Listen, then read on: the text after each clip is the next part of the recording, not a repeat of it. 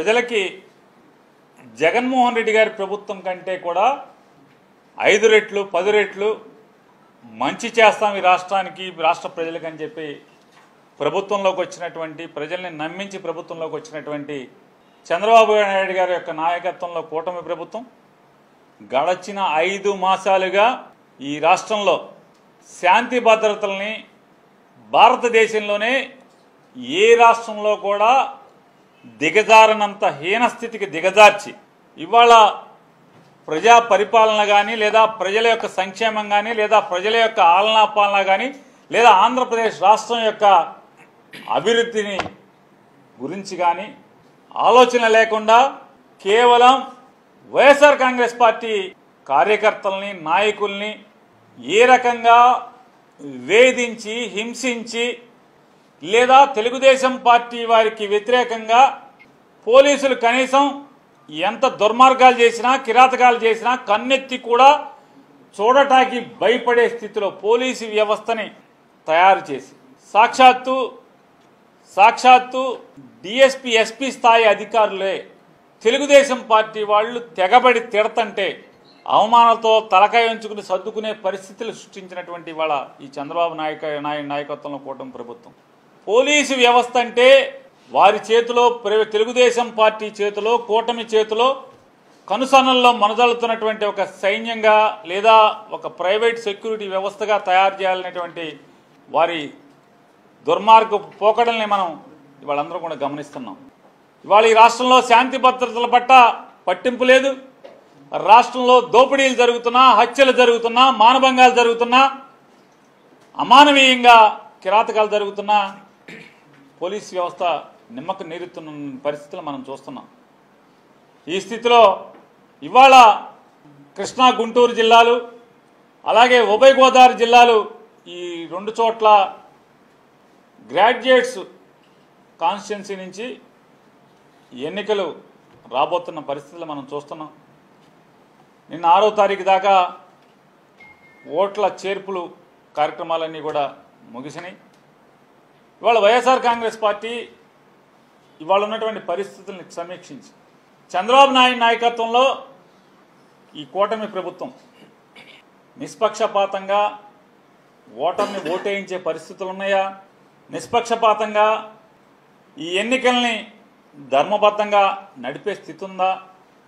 లేదా స్వేచ్ఛగా పోటీ చేసిన అభ్యర్థుల తరపున రాజకీయాలంటే ఓటర్ని కలవటం ఓటర్ని చైతన్యపరచడం లేదా ఓటర్ని వారి పార్టీ అభ్యర్థికి ఓటేయించుకునేటువంటి రాజకీయ ప్రక్రియ చేయటానికి పరిస్థితులు ఉన్నాయా అంటే కూడా ఎక్కడ సోషల్ మీడియాలో చిన్న పోస్ట్ పెడితేనే అర్ధరాత్రులు పోలీసులు అదేదో పాకిస్తాన్ తీవ్రవాదిగానో ఐఎస్ఐ తీవ్రవాదిగానో లేదా ప్రభుత్వ నిషేధిత నక్సలైట్ నుంచి సంబంధించినటువంటి కార్యకర్తగానో అర్ధరాత్రి ఇంట్లోంచి లేపుకెళ్ళటం ఎక్కడ పె- కనీసం ఎక్కడ తీసుకెళ్ళి ఎక్కడ పెడుతున్నామో ఏ స్టేషన్కి తీసుకెళ్తున్నామో.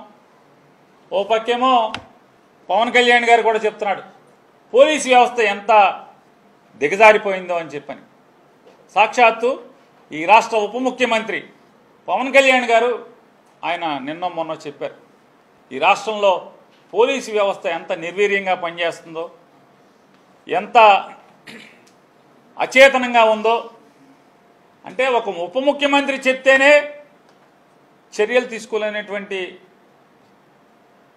పోలీసు వ్యవస్థ ఇవాళ ఆంధ్రప్రదేశ్ రాష్ట్రంలో ఉందని మన వివరం చెప్పక్కర్లా. ఆ ప్రభుత్వాన్ని మోస్తున్నటువంటి సాక్షాత్తు ఆ ప్రభుత్వాన్ని నడుపుతున్నటువంటి ఉప ముఖ్యమంత్రి గారే ఆయన గట్టిగా ఘాటుగా ఆయన కడుపు చించుకుంటే కాళ్ళ మీద పడుతుందనే విషయాన్ని కూడా మర్చి ఆయన చెప్పారు కదా. ఈ స్థితి ఈ రాష్ట్రంలో ఉన్న పరిస్థితులు మనం చూస్తున్నాం.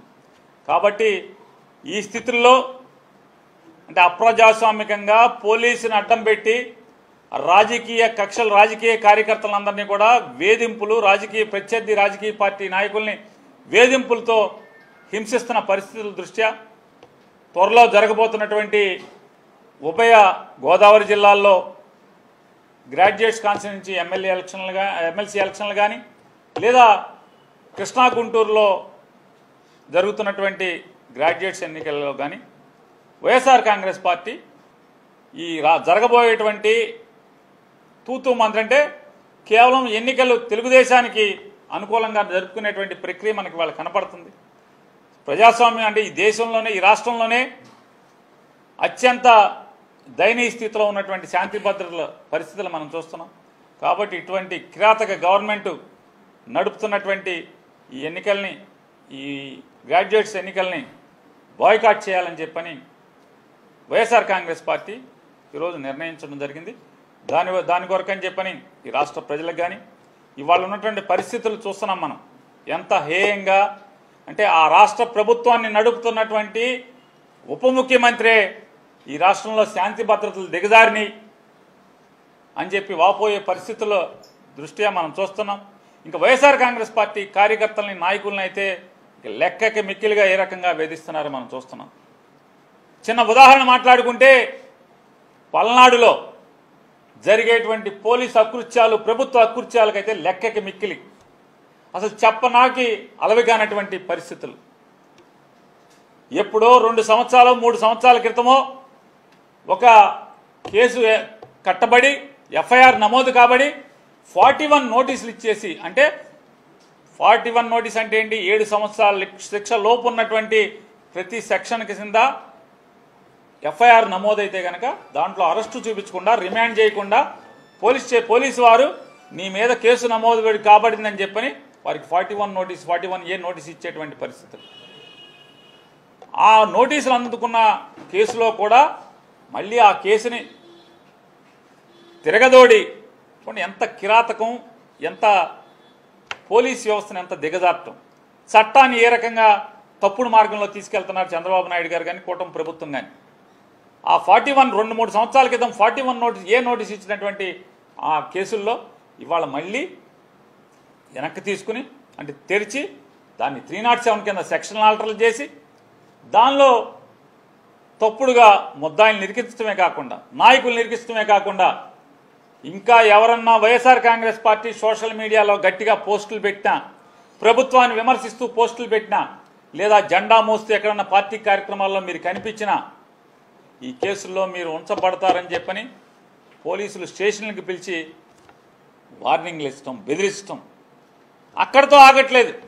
అక్కడితో ఆగకుండా వైఎస్ఆర్ కాంగ్రెస్ పార్టీ వాళ్ళని ఏదో ఒక తప్పుడు ఫిర్యాదు తెలుగుదేశం వాళ్ళతో ఇప్పించి వాళ్ళని తెలుగుదేశం అంటే అర్ధరాత్రి పూట ఇంట్లోంచి చొక్కా పట్టుకుని ఈడ్చుకెళ్ళి తెలుగుదేశం ఎక్కడికి తీసుకెళ్తారు? పని పోలీసులు వచ్చారంటే పోలీస్ స్టేషన్కి అది తీసుకెళ్ళాలి. కానీ ఈ తప్పుడు ప్రభుత్వంలో ఆ వ్యక్తుల్ని వైఎస్ఆర్ కాంగ్రెస్ పార్టీ క్రియాశీలక ఉన్న వ్యక్తుల్ని తెలుగుదేశం నాయకులు ఇళ్ళకి తీసుకెళ్ళి అర్ధరాత్రి పూట తెలుగుదేశం నాయకులు ఇళ్ళకి తీసుకెళ్ళి వాళ్ళ ఇంటి దగ్గర మోకాళ్ళ మీద కూర్చోబెట్టి తెలుగుదేశం నాయకులతో కొట్టించి వీళ్ళు కూడా కొడుతూ పార్టీ మళ్ళీ జెండా మోస్తావా? పార్టీ మళ్ళీ తిరుగుతావా? అని చెప్పని ఈ రకంగా చట్టాన్ని ఏ రకంగా తొంగలో తొక్కుతున్నారు. చట్టానికి విలువ లేకుండా చేస్తున్నారు. పోలీస్ వ్యవస్థని విలువ లేకుండా చేసిన పరిస్థితులు.